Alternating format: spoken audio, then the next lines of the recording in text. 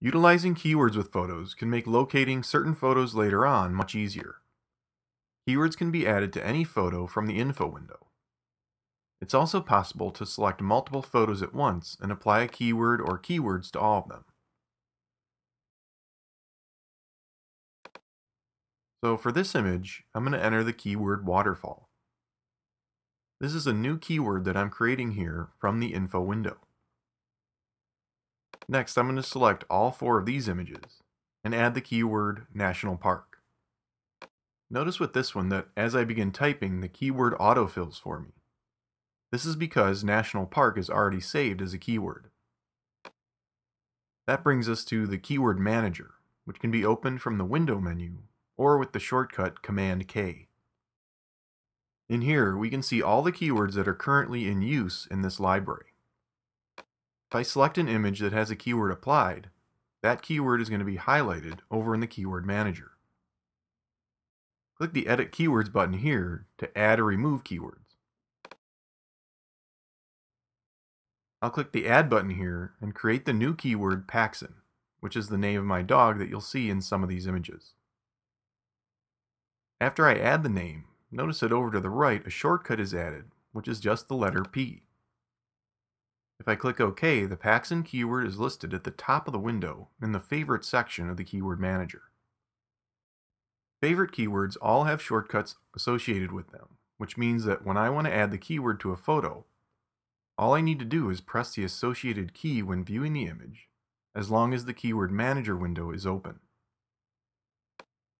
If I add any of the other current keywords to the Favorite section, they're automatically given a shortcut key. Remember, these shortcuts can be edited or removed in the Edit Keywords panel. With an image selected and the Keyword Manager window open, just click the keyword that you want to add to the photo. Now let's open this image full size, and I'm going to apply a keyword using its shortcut. To add the Paxson keyword, I just need to press P while the Keyword Manager is open. If I close the Keyword Manager window, the P mm-hmm. shortcut doesn't work. Hitting the shortcut again will remove the keyword. This process makes it really easy to move through images quickly and apply keywords.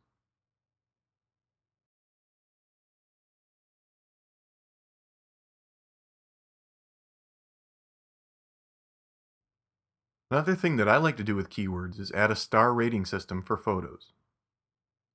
This is a feature that iPhoto and Aperture used to have, but Photos only uses the Favorites feature. If you've imported an Aperture or iPhoto library to Photos, star ratings from those apps will become keywords. So you might already see the star rating keywords in your library. I'm going to build this one from scratch though. So I'll add 1 star through 5 star as keywords, and each of those will get a shortcut, 1 to 5. Now I can select one or multiple images and quickly give them a rating with a single keystroke.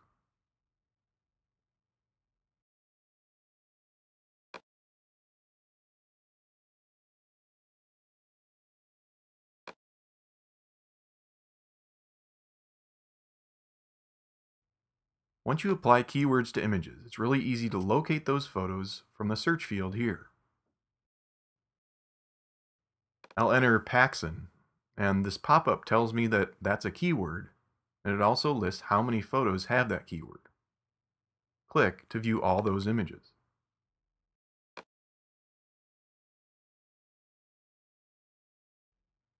You can even do a search for multiple keywords.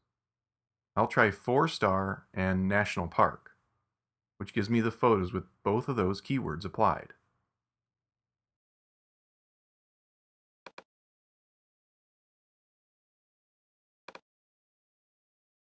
Utilizing keywords is one of the best ways in photos to keep your library organized and easily searchable. We'll look more at search coming up later.